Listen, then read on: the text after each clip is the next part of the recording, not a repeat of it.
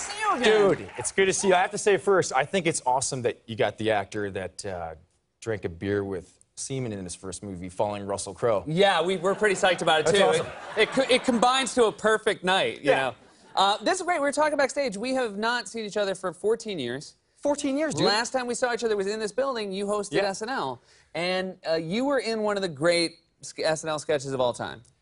That- yeah, that the, the patriotism. sketch, Patriotism yeah. sketch. Uh, for those who don't remember, we worked in an office together. You were the boss.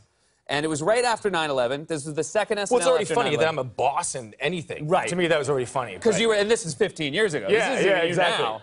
Um, and uh, everybody had been uh, encouraged to wear patriotic uh, clothes. Right. And Will Ferrell, of course, wore super short shorts and a half shirt. And it's really just one of the great sketches of all time. But there's more to it though, because Yeah, here's so- the thing: is like I, in dress rehearsal, Will comes out in that outfit, which is already funny, but the inside of his legs, because he was training for a marathon, was, right? yeah. And it was like all shaped. It looked like a raw steak, like in Poltergeist. Yeah. Remember the raw steak in Poltergeist, where the before the maggots come out? Yeah, yeah. I mean, so it was pre-maggot steak skin. Yeah. And it was already disgusting. He was in pain. And then when we did the the live show, he, you know, he, he's just hilarious because it's, it's not even like a half shirt. It's like a quarter shirt. You can yeah. see his nippies. Right.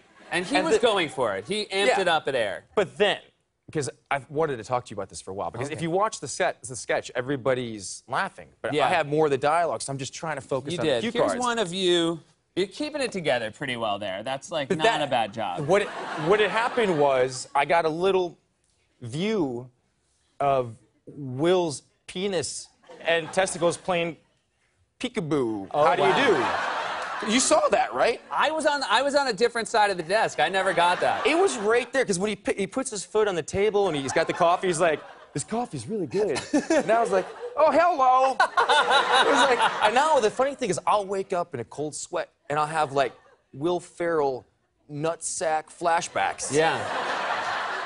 You don't have those? I don't have those, no, but I, you know what? I think we all are now. okay. Yeah. But I, I think about that sometimes. And that was the last time I saw you. That was the last time I saw you. It's great to see you again.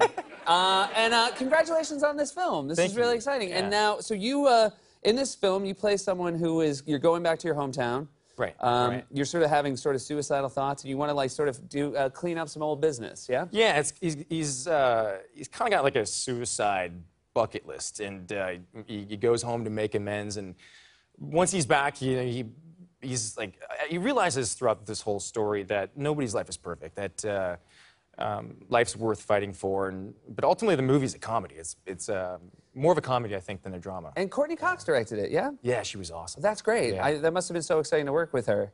it was. I mean, she's also gorgeous. Yeah. So it was doubly awesome. That's really two great things. Yeah. How was she as a director? She was amazing, man. I mean, I expected her to be, you know, awesome because she's been doing this for so long and um, she's so talented. And you can't be this successful for so long without really knowing what you're doing. And as a, as a filmmaker, she, she was really great. That's great.